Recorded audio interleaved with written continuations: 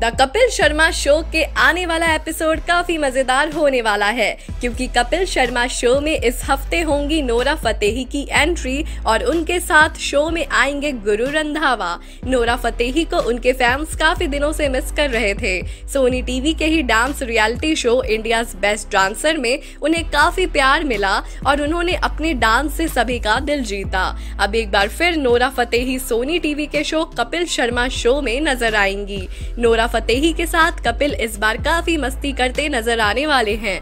Kapil Sharma, Nora Fatehi के साथ जमकर फ्लर्ट करते नज़र आने वाले हैं। शो का एक प्रोमो भी जारी कर दिया गया है, जिसमें कपिल, नोरा और गुरु रंधावा के साथ मस्ती करते नज़र आ रहे हैं। कपिल एपिसोड के दौरान गाना गाते भी नज़र आने वाले हैं। वहीं नोरा फतेही भी एक बार फिर डांस करते हुए नज़र आएँगी।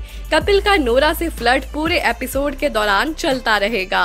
कपिल नोरा के लिए रूप तेरा मस्ताना गान भी गाएँगे। वाइट ड्रेस में नोरा काफ़ी खूबसूरत नज़र आएँगी।